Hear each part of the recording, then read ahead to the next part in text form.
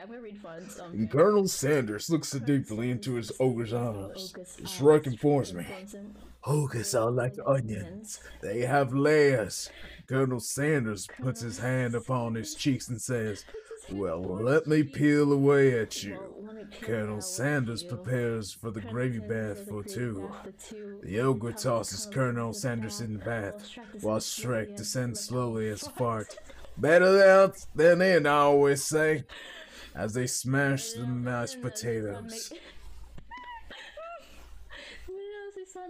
I need you to clip that right now Listen. and then send it to me.